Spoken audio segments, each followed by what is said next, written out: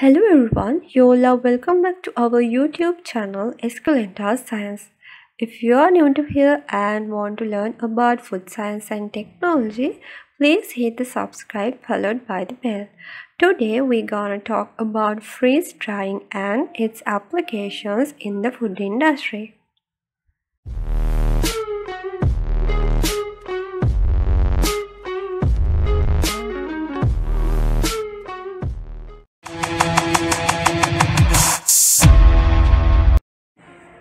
Freeze drying, which is also known as lyophilization, is the process of removing water from a product by freezing and subliming the ice to vapor. Sublimation is a physical phenomenon by which solid ice is converted directly into vapor without it passing through the liquid state. The unique advantage of freeze drying is that the sample are kept at low temperatures and remain frozen during entire drying process, thereby preserving thermolabile components all while maintaining the original shape and size. The dried product can then be stored for long periods without the risk of changing composition such as enzymatic and genetic or being infected by microorganisms which is all made possible due to the lack of water.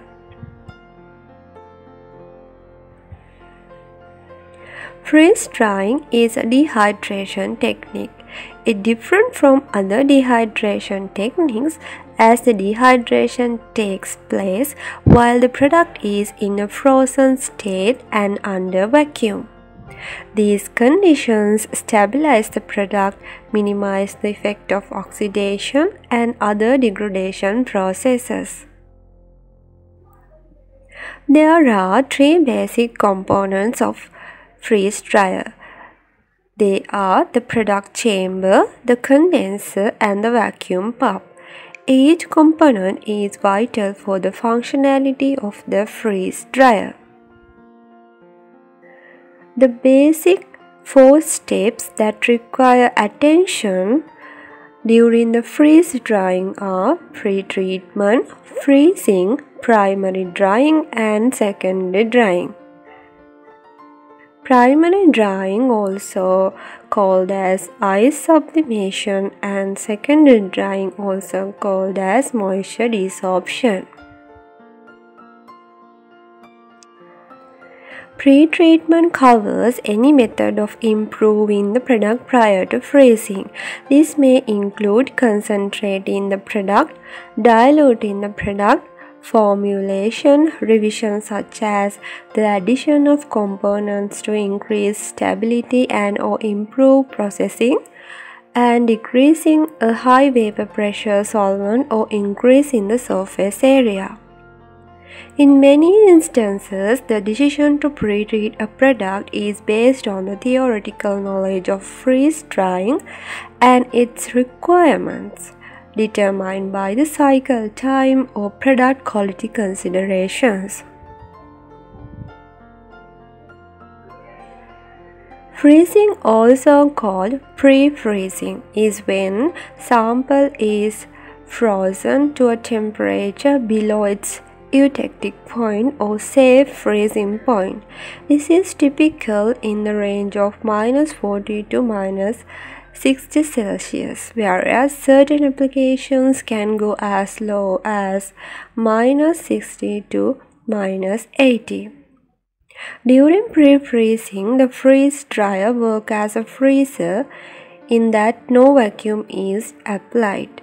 Pre-freezing could also be done separately from the dryer.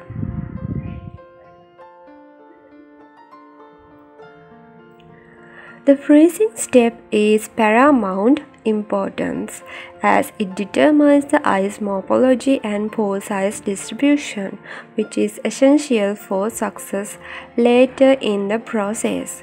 This seems rather elementary, but it is often the least understood and investigated step of the process.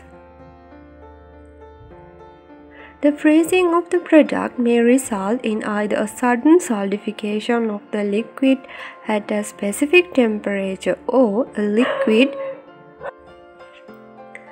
which does not solidify but rather just becomes more and more viscous. The eutectic former's freezing temperature equates to triple point of the product on the paste diagram. In this instance, the product is frozen in the classic sense and the temperature must be maintained below this level during the entire primary drying steps.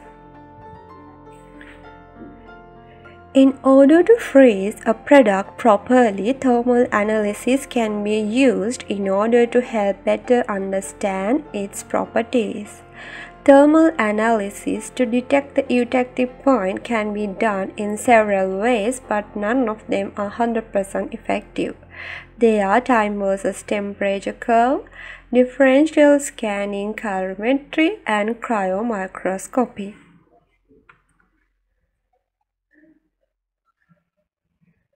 Materials that have poor structural stability generally end up shrunken, puffed or may be glassy looking and sticky after freeze drying.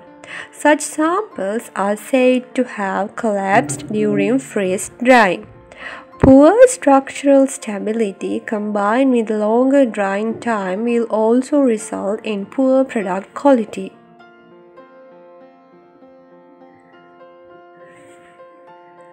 Once the freezing point of the product is determined, the optimal rate of freeze must also be determined.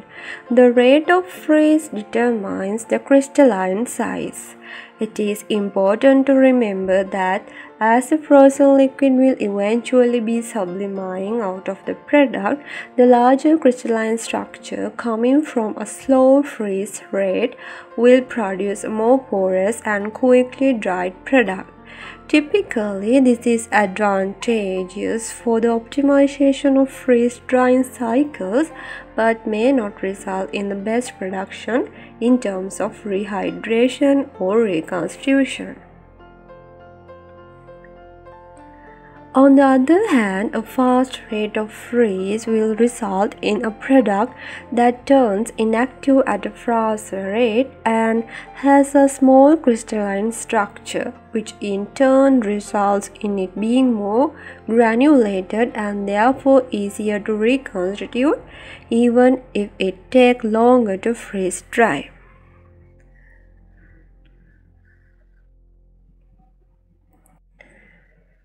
Then let's see what is primary drying. It is a phase where the ice sublimates under ultra low pressure, typically down to 0.01 Pascal or lower, depending on the pre-freezing temperature of the sample.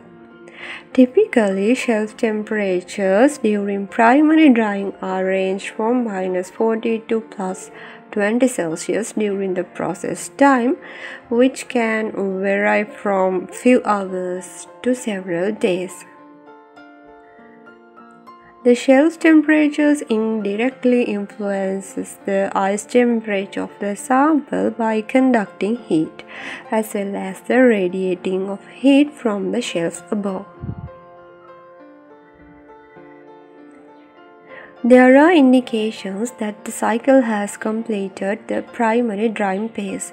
The product temperature is equal or very similar to the shelf temperature. This indicates that no heat transfer is occurring between these locations and that few vapor molecules are leaving the product and the condenser temperature has returned to its original low temperature.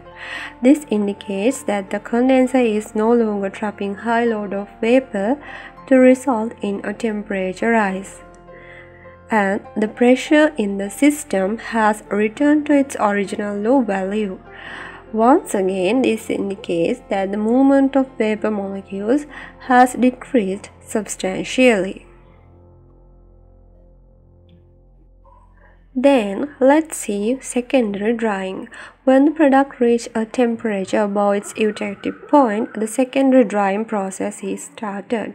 During this step, the vacuum pump creates the low pressure conditions necessary for the removal of solvents, which often results in a product appearing dry. This solvent being removed during this desorption step is referred to as bound. The amount of bound or residual water in the product is dependent on the amount of time the product remains in the secondary drying phase. The removal is controlled and optimized by increasing the shelf temperature to its allowed maximum. This is however usually never raised above plus 42 Celsius as biological samples contain proteins that would denaturize as a result of this. Vacuum is at this point very high as no or very few vapor molecules are present. This part of the freeze drying cycle typically represents less than half of the total cycle but is highly essential for the final moisture content of the sample. Now let's look at the use of freeze drying in food industry. There are several food industries such as coffee, fruit, juices, vegetables, herbs, food flavorings, fish, seafoods, eggs and dairy industries uh, which are using uh, freeze drying process during their production.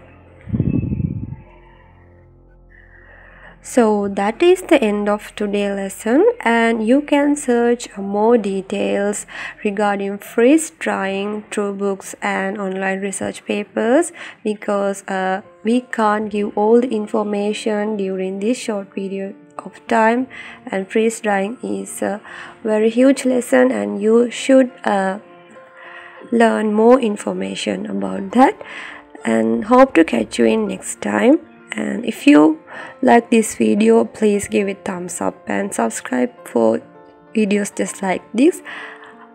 Thanks for watching